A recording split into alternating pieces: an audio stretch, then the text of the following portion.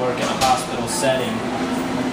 Um, talk perhaps more about what you see coming, uh, either in the world of education, uh, to try to prepare acupuncturists to be ready for that opportunity as as they are as those opportunities now start to appear, and uh, perhaps uh, well share anything actually that you wish uh, with our audience about the, uh, the, the mission of your very uh, interesting institute there. I know you guys are uh, trying to do some cutting edge things there, and uh, how your years of experience that have really allowed you to, to gain the perspective that, that may be necessary for the next generation of people to be ready for that opportunity.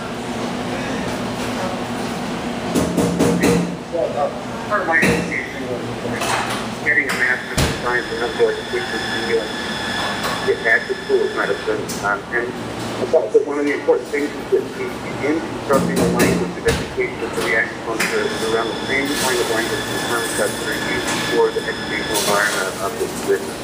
That uh, when, when both of those disciplines have a, a common language base in their education, then they're just working together in dialogue and uh, are, are uh, have some basis of, of mutual understanding. And that's a critical piece. So uh, I'm also serving on uh, a task force developing first professional doctoral standards for this field, uh, for Oriental medicine.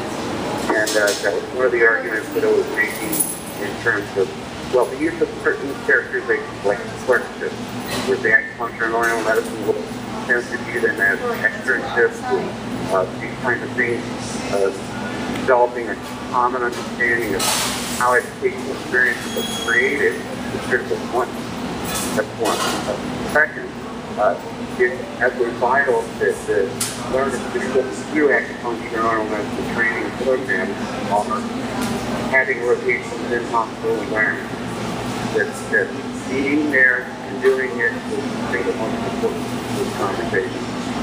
Now, getting to them that point means that they must have uh, a, a, basic understanding of biomedical technique, such that there's a, a common platform of what's available to them, the ability to go into those environments and participate in dialogue is created. And that should not be done in such a way that in any way minimalizes epistemology of Chinese medicine critical key to success of the practice. Exactly. And do you think that is the danger, that it will be minimalized from that direction? Or do you think it really the danger is on both sides, that you could end up emphasizing one or the other?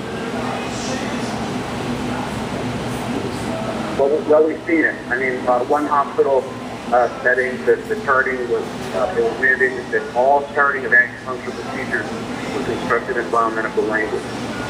Uh, what we see then is that then the practitioners are leaving out the nuanced points of thought that they use to arrive at a clinical intervention. In essence, what, what takes place at that moment is that, uh, one, there's a, a loss of uh, knowledge, uh, but, but two, also, I think there's a safety issue here. Because the the actual thinking process that that individual use to arrive at their assessment and treatment plan was actually not placed on the record. That's and so the ability to reflect back and point to conclusions about what was effective forms of intervention and what was not is, is hampered by, uh, uh, by what you know, typically considered to be a risk management strategy, uh, using language that everyone understands in a environment. Yeah, I'd like